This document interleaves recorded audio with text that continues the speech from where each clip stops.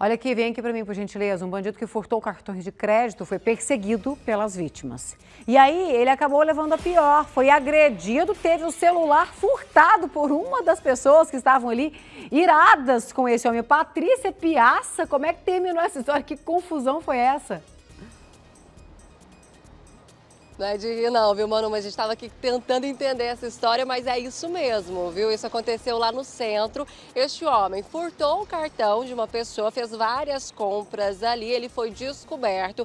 Essa vítima, junto com outras pessoas, então, conseguiram pegar esse ladrão, contê-lo ali. E este homem foi agredido, segundo informações da Polícia Militar, por pelo menos 20 pessoas. A PM foi chamada, quando chegou ao local, ele estava lá com várias marcas, né, várias lesões pelo corpo, estava contido e a polícia constatou também que o bandido teve o celular ali roubado no momento da confusão por uma das pessoas envolvidas, né? Resultado final, balanço final dessa história, olha só, foi este homem, né?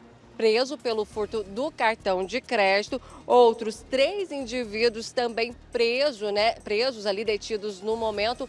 Um por conta do, do furto do celular, do roubo do celular desse primeiro bandido. Outros dois é, registraram um TCO ali, precisaram assinar um TCO, que é o termo circunstanciado de ocorrência, por conta dessas agressões. Teve também, olha só, o aparelho celular recuperado, um frasco de perfume apreendido, não sei de onde saiu esse perfume, Manu, e um controle, aliás, dois controles de videogame também apreendidos. Eu volto com você.